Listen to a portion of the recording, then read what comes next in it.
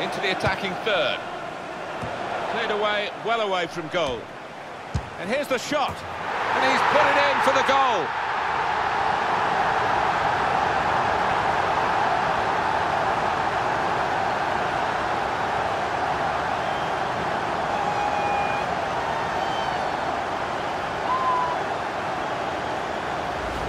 Goalkeeper's game is getting worse and worse. Well, it's just one of those awful days at the office, Martin, that he'll want to come to an end sooner rather than later here.